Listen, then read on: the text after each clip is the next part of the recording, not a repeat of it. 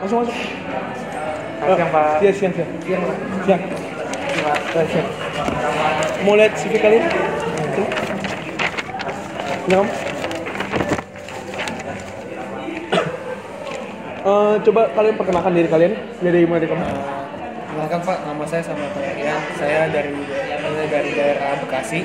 Saya ke sini naik kendaraan umum. Dan umum. Kalau kamu? Nama saya Grandio Divanius. Asal saya dari Kelapa Gading, Pak. Setiap hari saya bawa motor pribadi. Bawa motor pribadi? Iya. Kalau kamu? Eh, nama saya Chandrika Gunadi Pak, nama saya dari Bekasi.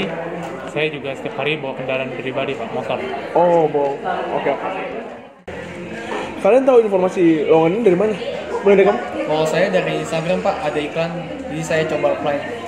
Kalau kamu? Kalau saya tahu dari informasi teman menawarkan. Oh, teman menawarkan. Kalau kamu? Pas saya dari kakak saya Pak, dia Oh, kakak. nawarin dia ngasih tahu saya. Eh, kalian sebelumnya udah pernah ada pengalaman SPB? Pernah Pak, saya pernah ikut Kang Raya Jakarta. Saya menjadi SPB di Indofood. Oh, Indofood. Kalau kamu?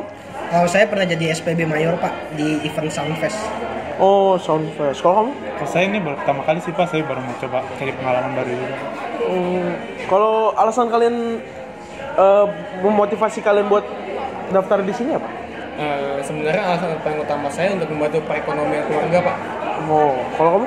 Kalau saya untuk mengisi waktu luang aja sih, Pak, daripada bosan di rumah nganggur nggak dapat. Oke. Kalau kamu? Ya saya sama sih Pak, kurang lebih saya juga mau cari pengalaman baru Pak. Pengalaman baru. Iya. Pengalaman baru. Itu. Pengen ngerasain kerja.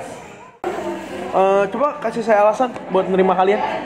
Oh, kalau saya sebelumnya saya sudah punya pengalaman sebagai SPB di Pekan Raya Jakarta di event Indofood Pak. Oh, di Indofood. Kalau kamu? Kalau saya sudah sangat ahli dalam bidang SPB ini, Pak, sudah memiliki pengalaman yang cukup, cukup banyak dan memiliki semangat kerja yang tinggi. Kalau kamu?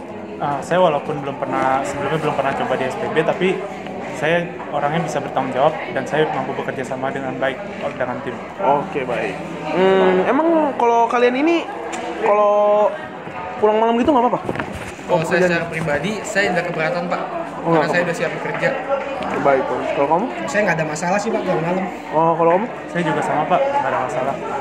Oh, kalau kalian emang eh, kendaraan atau gimana? Biasa naik apa? Kalau saya lebih sering ada saya naik kendaraan umum Pak. Oh, Sama kendaraan umum juga, Pak. kalau? Saya naik motor Pak. Kalau kalian saya terima. Komitmen kalian da- eh, komitmen kalian gimana kalau misalnya dalam pekerjaan ini? Nah, kalau saya Pak berhubung ini saya belum punya pekerjaan, sudah pasti kalau saya diterima, saya akan berkomitmen, saya akan bertanggung jawab atas pekerjaan yang Bapak kasih. Oke, kamu? Kamu? Saya sangat siap berkomitmen, Pak, karena saya memiliki tanggung jawab yang tinggi. Kamu?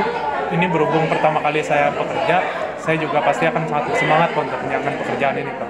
Dan saya bahkan bertanggung jawab. Oke. Eh, ngomong-ngomong kalian berapa bersaudara? Kamu? Saya dua bersaudara Pak. Dua. Saya tiga bersaudara. Kamu tiga bersaudara. Kalau kamu? Saya dua bersaudara Pak. Dua bersaudara. Eh, kalau ngomongin gaji nih, yang kalian harapkan dari pekerjaan kita itu berapa?